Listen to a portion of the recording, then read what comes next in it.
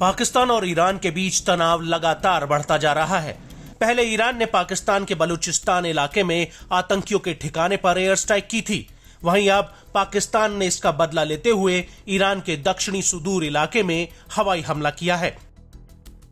ईरानी media के मुताबिक सारावान शहर के आसपास कई धमाकों की आवाज़ें सुनाई दी हैं। इसको लेकर ईरानी अधिकारी ने नाम न ज़ाहिर करने की शर्त पर ईरान की सरकारी न्यूज़ एजेंसी आईआरएनए से कहा कि कई जगहों पर धमाकों की जानकारी मिली है। वहीं मेहर न्यूज़ एजेंसी को एक सूत्र ने बताया कि इन धमाकों में कई लोग घायल हुए हैं। ईरान की स्टेट मीडिया ने पाकिस्तान द्वारा किए गए मिसाइल हमलों में तीन महिलाओं समेत सात लोगों की मौत की पुष्टि की है।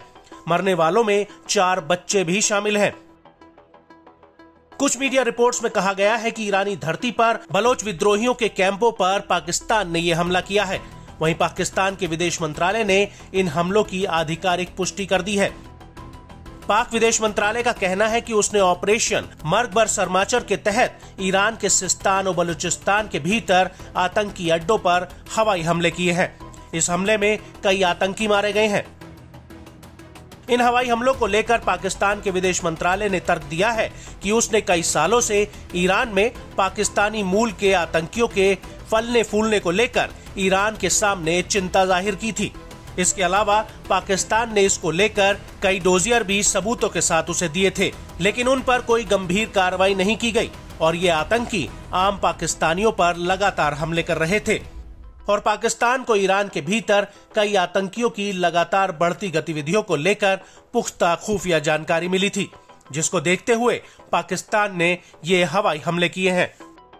पाकिस्तान का कहना है कि वो अपने लोगों की सुरक्षा में आगे भी इस तरह के ऑपरेशन करता रहेगा। वहीं दूसरी तरफ़ ईरान ने बलूचिस्तान में जैश और अल्दी संगठन के आतंकियों पर हवाई हमले किए थे।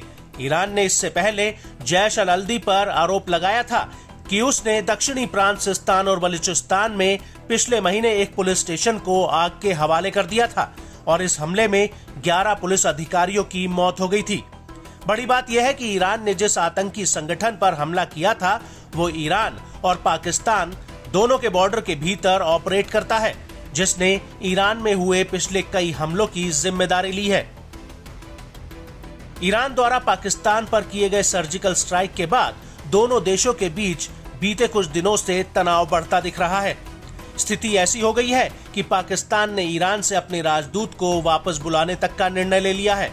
पाकिस्तान की तरफ़ से जारी एक बयान में कहा गया है कि ईरान द्वारा पाकिस्तान की संप्रभुता पर अकारण हमला, अंतर्राष्ट्रीय कानून और संयुक्त राष्ट्र के चार्टर के उद्देश्यों और सिद्धांतों का उल्लंघन है।